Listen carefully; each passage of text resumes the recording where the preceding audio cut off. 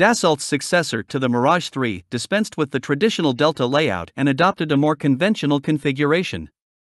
The resulting Mirage F1 has 40% more internal fuel in a smaller airframe, a much shorter field length, three times the supersonic endurance, twice the tactical radius at low levels, and all round better maneuverability.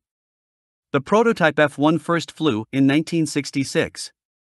The F1C all weather interceptor reached l'Armee de l'Air units in 1973, and when production ended in 1992, some 762 aircraft of all versions had been built.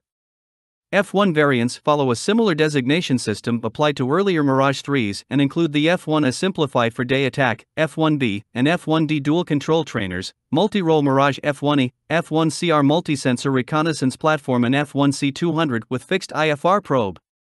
The arrival of the Mirage 2000 saw the conversion of surplus F 1C airframes to F 1CT standard as tactical fighter bombers.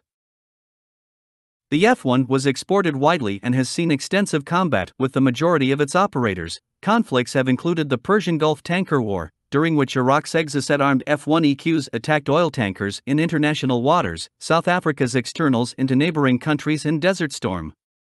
The F 1 remained in widespread service in 2001. France operates two squadrons each of F-1CRs and F-1CTs, a conversion unit equipped with trainers and a small detachment of F-1C interceptors for the defense of Djibouti. Other operators comprise Greece, Iraq, Jordan, Kuwait, Libya, Morocco, and Spain. Jordan's elderly F-1CJ/EJs are being replaced by F-16s. Iraq was the largest export customer, acquiring 108 F-1 EQs to various standards.